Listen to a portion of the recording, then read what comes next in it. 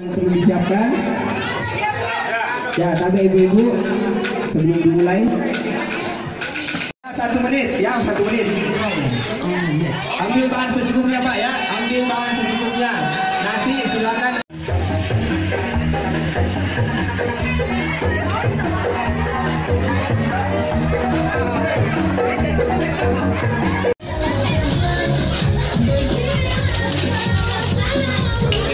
dan digoreng pakai gula pasir. Ore, ada.